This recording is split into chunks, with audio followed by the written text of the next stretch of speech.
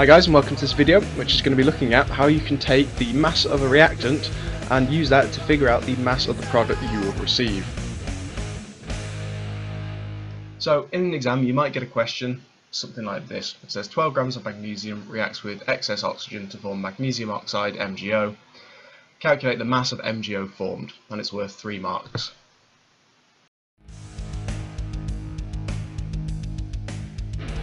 Step 1 is the balanced equation then. So we start off with magnesium, which is Mg. You'll be able to tell that from your periodic table. And it's reacting with oxygen. You need to remember that's diatomic, so O2. The form part means you've got your arrow, and it forms magnesium oxide, which it gives you is MgO. Now it's usually a good idea to put the state symbols in, um, but it's not massively necessary for this question.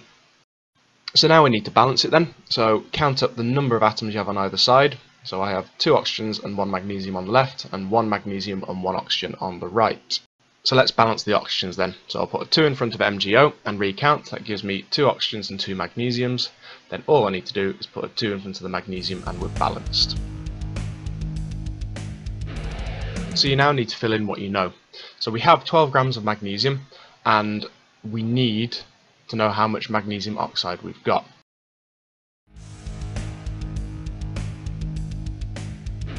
Now the atomic mass will always be given to you in the exam question as you can see I've put here next to the balanced equation. So the next thing is to work out the molecular mass. So I have two magnesiums which is 2 times 24 so my MR of magnesium is 48.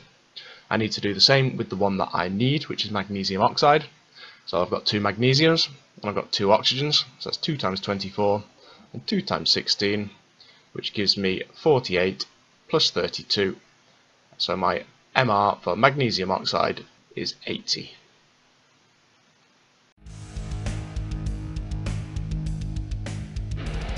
So to work out the moles then, you need to divide the mass of the compound by the molecular formula. So for magnesium oxide, I have 12 grams, which I need to divide by 48, which gives me 0.25 moles. Now if you can't remember what moles are, there's another video on that, which I can direct you to with the link here what you need to remember is the moles, as long as you have a balanced equation, is the same on both sides. So if you have 0.25 moles of magnesium, you have 0.25 moles of magnesium oxide, as long as the equation is balanced. Your final step then is to work out the mass of magnesium oxide. So you rearrange your equation. If moles is mass divided by mR, mass is moles times by mR. So I need to take my 80 for my MR and multiply it by my 0.25 moles. So 80 times by 0.25 gives me 20 grams. And that is your final answer.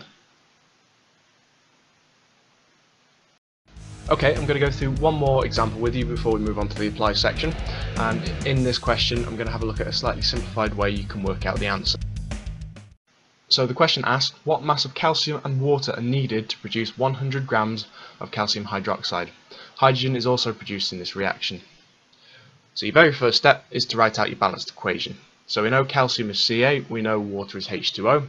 It gives us calcium hydroxide, CaOH2, and we know hydrogen is H2. If you can't remember that, just remember it's a gas and it's diatomic. So now we've got to balance it. I'm not going to go through that in detail in this video. Um, if you're not sure, look at the video on balancing equations. So let's put in what we know then. So we know that I've got 100 grams of calcium hydroxide CaOH2. So let's put that in there. And we want to know the total mass of calcium and water. So the next thing is to put in the molecular mass, the MR. So calcium, I've got one of them, so it's 40. So for water then, I've got two hydrogens, so that's 2 times 1, and oxygen I've only got one of, so that's 1 times oxygen, so that gives me 2 plus 16 is 18. However, because it's balanced, I've now doubled the equation, so it's 18 times 2, which gives me a molecular mass of 36. I need to do the same with calcium hydroxide, so I've got 1 calcium, that's 40. I've got 2 times by my 1 oxygen, so that is 2 oxygens, so that's 2 times by 16, which is 32. And then I've got two hydrogens, so that gives me 2. Add those together, gives me 74. Now at this stage, if you want to make sure that everything's correct, your best bet is to add up the atomic masses on both sides. So our molecular mass for calcium and water are 76 and if you do it for calcium hydroxide and hydrogen that also gives you 76. So if we move on to the simplification bit then, which is working out the moles, now provided you put this in the right order, you need to divide down, so 100 divided by 74, and then to work out the mass you multiply up. So let's go back, 100 divided by 74 gives me 1.35, we know that's the same all the way across because we have a balanced equation, and then I just need to multiply up. So this is showing me mass is moles times by mr, so 1.35 times by 40 gives me 54, and 1.5 times 36 gives me 48.6. Right, let's look at a question then.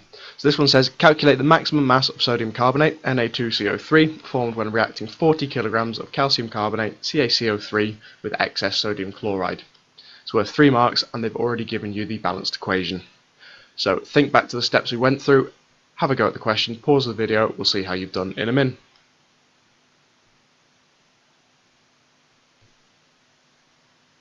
Okay, let's go through them. So the very first step then is to put in what you know. So 40 kilograms of calcium carbonate, let's put that below there, and I want to know my sodium carbonate. The second step is to put in the molecular masses for both of them. So calcium carbonate, I have 40 for calcium, 12 for carbon, and 3 times by 16, which is 48 for my oxygen. So I need to add all of those together, and that gives me 100. Then need to do the same with the sodium carbonate. So I have Na2, so that's 2 times 23, 1 times carbon, so that's 1 times 12, and 3 times oxygen again, which is 3 times 16. So that's 46 plus 12 plus 48. And that gives me 106. So I've now got my mass and my MRs in. The next thing I need to do is work out my moles for calcium carbonate, which is 40 divided by 100. So dividing down 40 divided by 100, which gives me 0.4. That is the same all the way across. So I have 0.4 moles of sodium carbonate. So then all I need to do is multiply up. So 0.4 times by 106 and that gives me 42.4 kilograms, which gives me my three marks. Okay, so the review for this section then is calculate the maximum mass of water produced when 15 grams of hydrogen peroxide, H2O2, decomposes to form water and oxygen. So in this one, you'll have to put the balanced equation, and then you'll work it out from there. And that ends this video. Hi guys, hopefully you've enjoyed the video. If you have, click the subscribe button down below and visit the website mrbarnestc.com for more.